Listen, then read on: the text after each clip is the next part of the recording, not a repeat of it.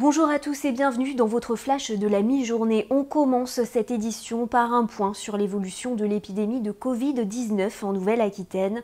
163 nouveaux cas confirmés ont été recensés sur la journée du 28 mars, ce qui porte désormais le total à 1520 cas confirmés de Covid-19 dans la région depuis le début de l'épidémie. Je vous rappelle que ces chiffres ne comprennent pas toutes les personnes non testées Covid-19 identifiées par la médecine de ville. Actuellement, 558 personnes sont hospitalisées, 160 se trouvent en réanimation ou en soins intensifs. Et depuis le début de l'épidémie, la Nouvelle-Aquitaine déplore 58 décès. L'Agence régionale de santé de Nouvelle-Aquitaine alerte sur les dangers de l'hydroxychloroquine prise en automédication. Dans un communiqué, l'ARS précise que des cas de toxicité cardiaque ont été signalés sur des personnes présentant des symptômes du Covid-19 suite à des prises en automédication. La prise de ce médicament, précise ce communiqué, doit faire l'objet, je cite, d'une surveillance et d'une prescription médicale adaptée pour éviter la survenue d'événements indésirables graves, mais aussi des hospitalisations en réanimation qui sont actuellement précieuses. Deux TGV transportant 36 malades dans un état grave sont arrivés dans la région hier en provenance du Grand Est. Le TGV arrivé hier après-midi à Bordeaux avait à bord 24 malades. Sept ont été dirigés vers l'hôpital Robert Piquet, un sur le CHU de Bordeaux, trois sur la clinique Bordeaux-Nord, trois autres ont rejoint l'hôpital de Libourne, six ont été pris en charge par l'hôpital de Bayonne et quatre par celui de Pau.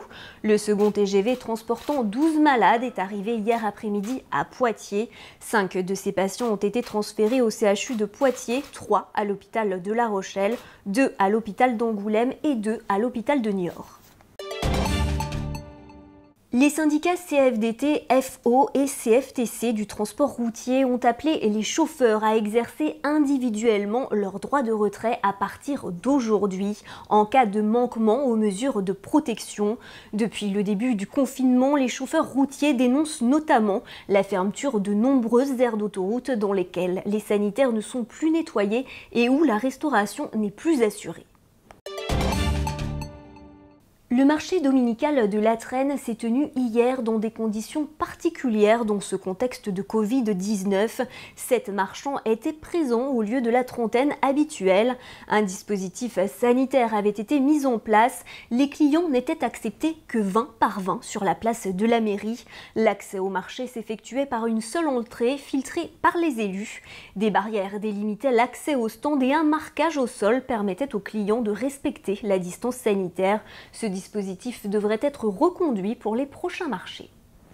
Ce qu'on a voulu faire, c'est maintenir effectivement ce, rendez-vous. D'abord pour proposer euh, des sources d'approvisionnement aux, habitants les plus proches euh, du secteur. Euh, maintenir aussi l'activité, ou en tout cas essayer de la maintenir, des commerçants qui nous accompagnent toute l'année, parce que c'est important justement qu'ils puissent, dans ces temps difficiles et cette période compliquée, de maintenir un certain niveau de, leur activité et puis proposer effectivement un circuit court également on l'espère, la production euh, de, producteurs euh, français, un écoulement qui sont aussi favorisés par un, par un circuit local.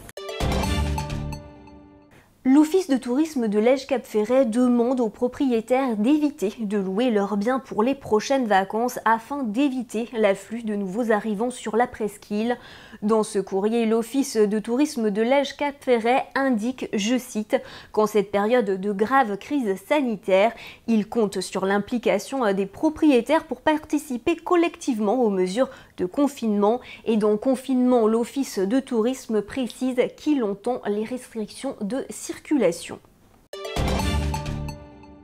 Météo France avait annoncé une baisse des températures mais aussi de la neige pour ce début de semaine et effectivement ce matin quelques flocons sont tombés dans la région.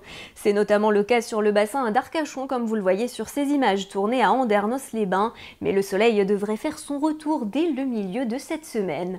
C'est la fin de cette édition, on se retrouve dans quelques instants pour un nouveau point sur l'actualité.